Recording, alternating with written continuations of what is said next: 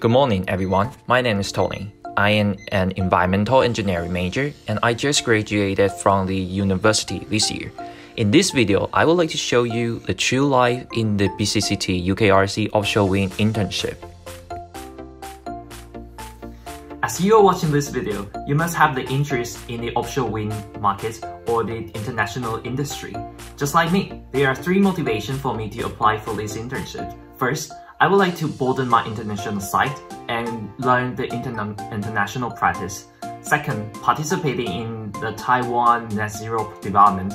And lastly, finding my future career path. So I grabbed the internship information from the BCCT website and apply for it without any hesitation.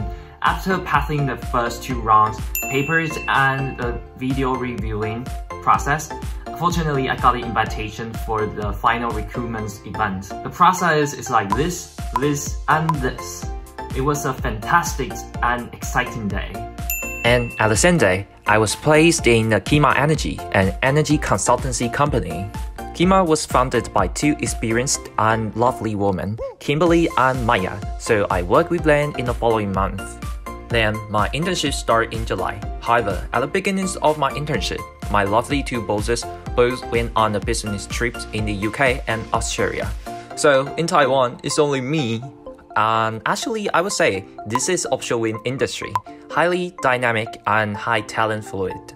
Anyway, back to the work. As a consultant, we would need to have a comprehensive understanding of this market and give it a market strategy for our client. So in the beginnings of my work, um, my work starts from the market uh, researching, data compiling, and data analysis.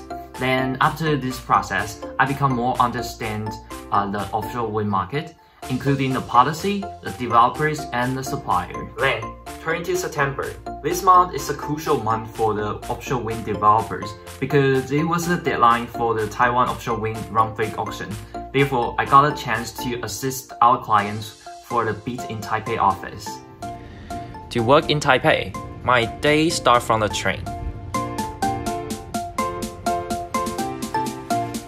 Then, transfer to Taipei MRT.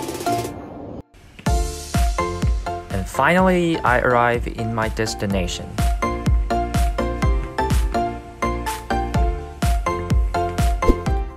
My work starts from the offshore wind news reading, a daily routine, then standby for assisting. Working in the office, the atmosphere, the people, everything was so new to me and made me feel like I'm a successful businessman. Back to earth, I'm just an intern. Anyway, in the office, let me really feel the dynamic of the industry.